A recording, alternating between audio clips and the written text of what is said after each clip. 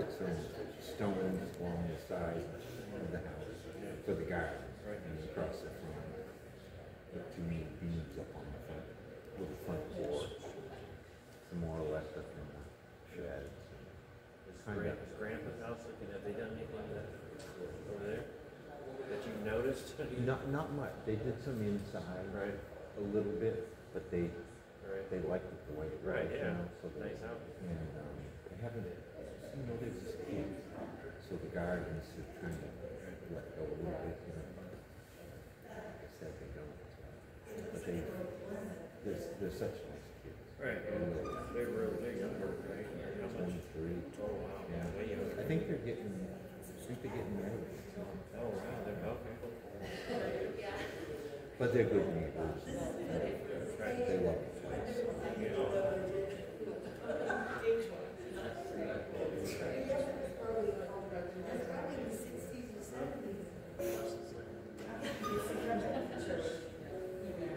Great pictures. Yeah, they're clear.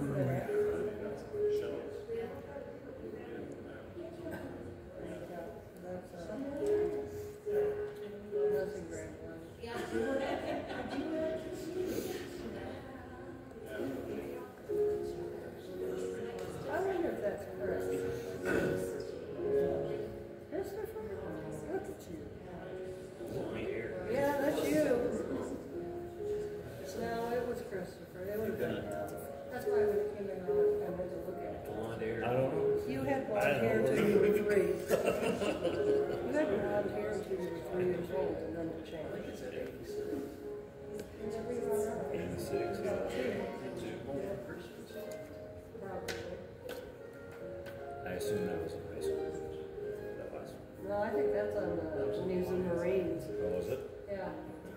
went to Hawaii to visit him.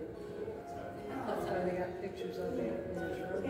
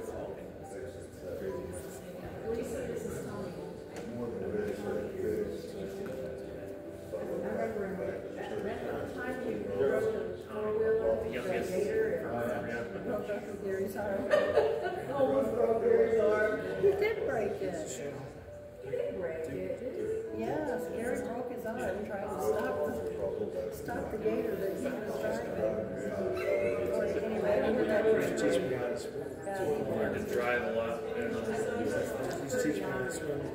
I still can't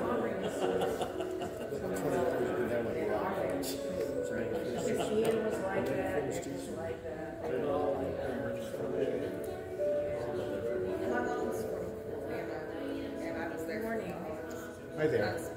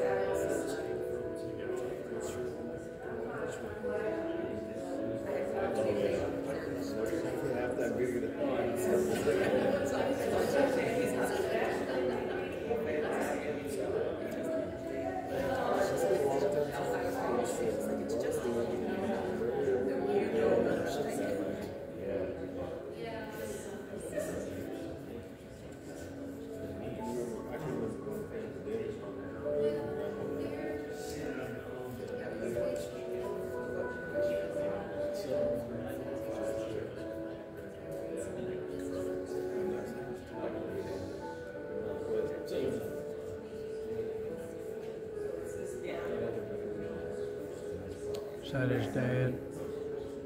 Uh, no. There are some pictures in there. I've seen them, but they were towards the end. Right. Never got to meet his father. Really? Mm -hmm. He was a great guy. Yeah.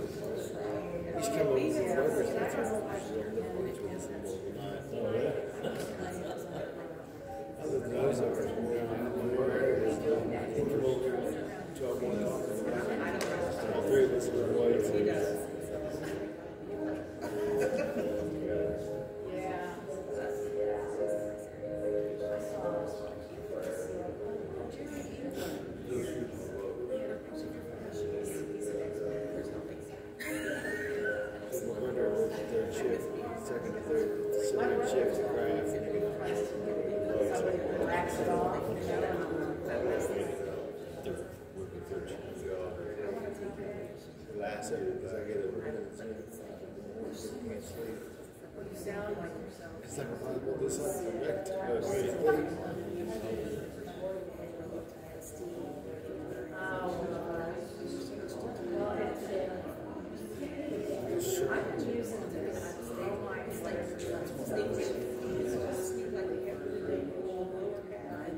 it's, uh,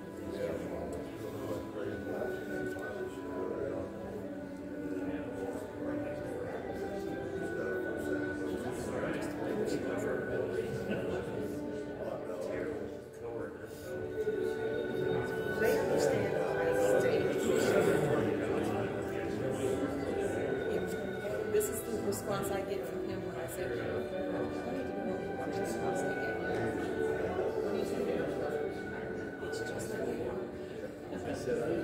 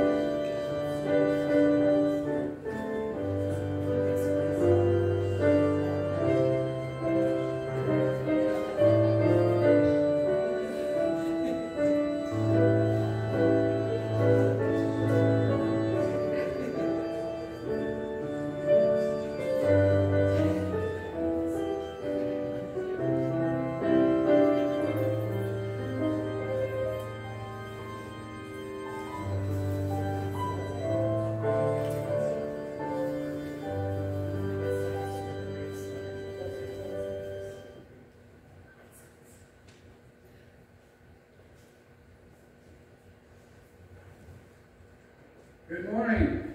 It's so good to see so many out. Um, Quite impressed. This is a tight-knit family. And uh, pretty amazing all the good pictures you've had through the years. Back when Eric was a uh, 80s kid with his, his hot car right there. He never told me about all that stuff. But uh, anyway, I'm Pastor Norwood, uh, retired, I just stepped down in June. John- Pastor John Reeves is now uh, pastor, former missionary of our church.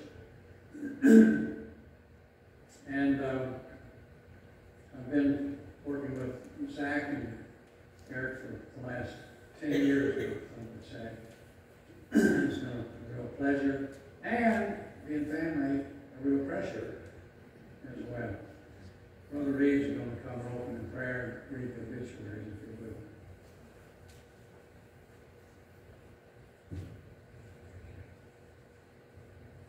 know on the behalf of our church, Grace Bible Baptist Church, that uh, you are in our hearts and prayers during your time of grief and loss. Um, This time, let us, let us open our service in prayer. Heavenly Father, we thank you for the life of of Eric Scott Peel, Lord, I pray that his family and church family may receive your comfort and grace this morning and in the days ahead. Lord, as it says in the scriptures, Lord, blessed be God, even the Father of our Lord Jesus Christ, the Father of mercies, and the God of all comfort, who comforted us in all our tribulation. That we may be able to comfort them which are in any trouble by the comfort wherewith we ourselves are comforted of God. For as the sufferings of Christ abounded in us, so our consolation also abounded by Christ. Lord, I'm thankful for this comfort that we can have through you. Lord, we know how much Eric loved his family and you. We are thankful that we know where he is at. He's with you. And one day we'll see him again. And to my fellow Marine, I say Semper Fidelis. Lord, may everything that is said and done here today glorify your holy and precious name. In Jesus' name we pray. Amen. Mm-hmm. I'll read some things about the life of Eric Peel. Eric Scott Peel was born in Flint, Michigan on April 8, 1965, to Ernesto and Louis Peel. He was the youngest brother to Michael and Cheryl. Eric accepted the Lord as his Savior when he was a young boy and later rededicated his life to the Lord. He enlisted in the Marines and went to boot camp right out of high school and served four years from 83 to 87. He was stationed in Okinawa, Japan, and Kaneohe Bay, Hawaii. After the military, he spent the next 20 years as a truck driver, driving all over the United States and Canada. It was his truck driving career that began his journey of health issues. He did not let it slow down his life or witness or his witness to the Lord. He had many passions, and one was his son Zachary Peel. The only thing he loved more than his family and son was witnessing to others. That took many forms like working with the teenagers in St. Louis area. Of course, one of the young men is with us here this morning. Mm-hmm. In teaching men's Bible study class at Victory Mission, passing out smiley face cards at uh, parades, and to anyone he came in contact with. Working with young children in the Awana program and junior church, plus witnessing to fellow patients and medical staff in the hospitals and nursing homes he was in. Eric passed peacefully on August 29, 2024. With his last breath and no pain or suffering, he looked up to heaven with tears of joy and walked into the presence of the Lord. Even with all his health issues, he was able to be an organ donor, which was important to him and he would urge you to strongly consider doing the same. But most importantly, he would not he would want you to, to accept the Lord as your personal Lord and Savior, so that you too can know the blessing and joy, hope and peace of eternal salvation. Eric is survived by his son Zachary Peel, and also his brother, sister, aunts, and uncle, nieces, nephews, cousins, and their families. Okay. At this time, uh, Brother Glennon Gray will lead us in a song from hymn.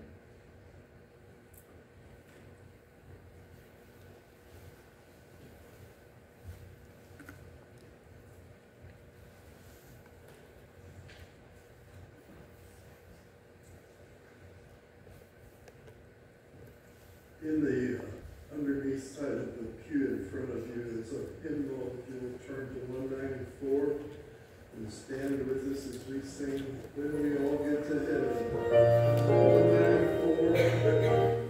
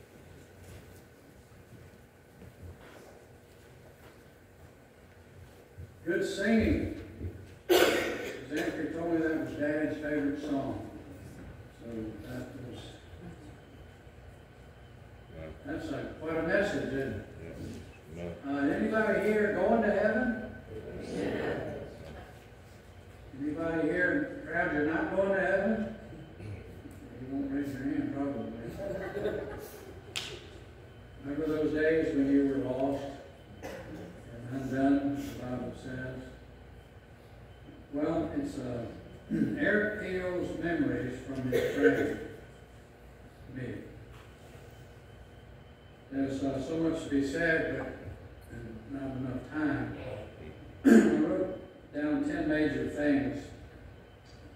Now, after the lady saying, we're gonna have you, if you would like to pass the microphone around, you can give a testimony, seated or standing, of testimony, of what Eric meant to you in your life also, because, you know, that'd be your last chance to, to say something kind and good about your old friend, Brother Peel.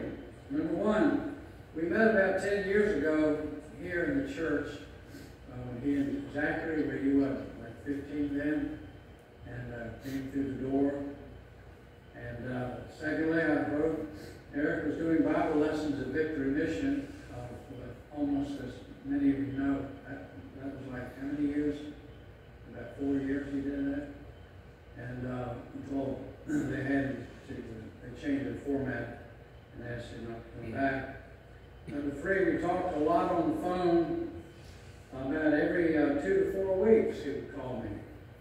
And when he was able to come to church, after church, we'd go down here to Wendy's and spend time in a little party time, right? And he would kind of ventilate and unload and, and just to get out in public.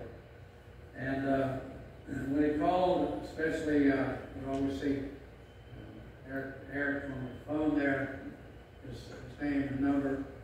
And I said, well, it must be serious, because he didn't just call and waste time. Uh, but he wanted answers to biblical theology questions uh, and answers, and he wanted uh, update information on the state of America. And uh, also, he wanted to know what is the, what is true to believe in the news nowadays. How many know it's worse than then, now, now than then? And uh, well, I tell you what, there's the there's the accurate news right there. You know? Yeah.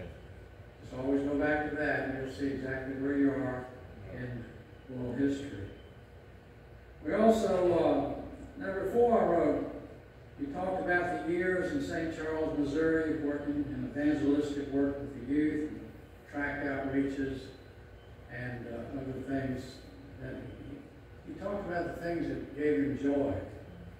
He did. He talked very little about his uh, service in the Marines, and uh, but he also brought up talked about his Toro lawnmowers, and uh, how many know about the Toro lawnmowers? Okay, and his lawn cutting business. He said, "Yeah, I don't think I'll buy one. Come on, cut the church." I said, "We don't have that much grass. do that." but he really always talked about the Toro lawnmowers, and. Uh, did not talk about, I knew very little about his service as a Marine. He never brought that up. but he was a he was a proud veteran for serving his country. You knew that he was a proud veteran wherever he went. He always talked about his family, always talked about his family. Now take that any way you want to. and especially his son Zachary and Zachary's future and his spiritual growth and his success. And also he was and is, Zach, all right? He was and he is so proud of his son's achievements so far in, in this life. And aren't you proud of Zachary also? What, what a guy. He tells the uh, he tells the unqualified to carry handguns, you ain't get one. And then pass brother. Uh, he learned that from the sheriff's department in Ozark, that he, he learned to do that, and he qualified him to be, uh, what do you call it, head honcho in the gun department of Bass Pro at 25. That's, that's quite an achievement. Number eight, Eric also, uh, get this, all of us, Eric would sadly admit that he had caused his health and personal problems by not obeying God's word more closely when he knew what God wanted to do. And I wrote myself a note. We all should be that honest, correct? Which means amen. We should all be that honest. Number nine, his last request was to go, and this was uh, two Tuesdays ago when I took him to the VA. And on the way home, he says, take me by McDonald's, Give me a chocolate milkshake. And we went through there and he, he spent like ten or twelve dollars on a milkshake and a filet fish combo. I haven't had one of these in a long time. And then I was with him Wednesday, then Zach was with him Wednesday evening, and then everything went south after that. But his, number ten, his final mark on our church as a member here, actually when, when his dad in Canada sent money to put new carpet in the church, the odor from Malgai was so strong, Eric could not come back to church, He could not breathe. So we moved the speaker into the fellowship hall where he could go up there and sit, he wanted to be in church to hear singing, sit back there, when the video, just, just the speaker, he said, I just want to be in church. And so that, that put him out of the auditorium for a while until the odors dissipated. I think he was back two or three times after that, as his health escaping him. But his final mark on our church was the financial gift. When his father passed away, was it last year? Yeah, sure. 2022. And uh, Eric called me up. He said, I, want you to come by here. I, want to send a gift to the church. And uh, his financial gift to the church uh, did a lot. It wasn't an exorbitant amount, but we're good at stretching copper pennies. We're good at it around here. So we got all the ceiling redone and the beams repainted.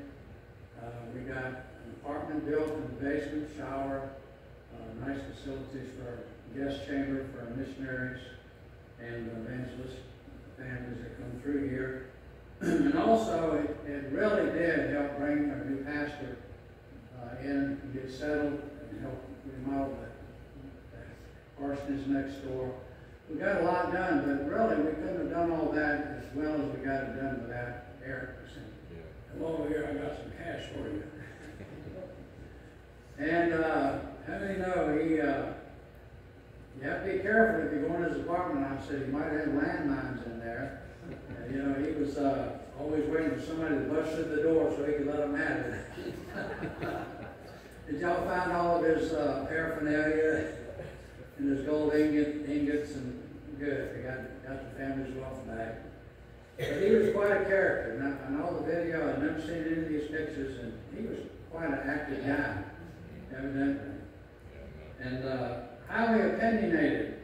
And I, I really didn't know how opinionated he was until I met Cheryl the other day.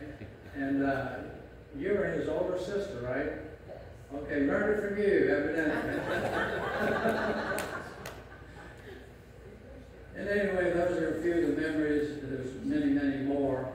And what a privilege it is to meet the family that he loves so much this morning. At this time, we'll have our ladies sing.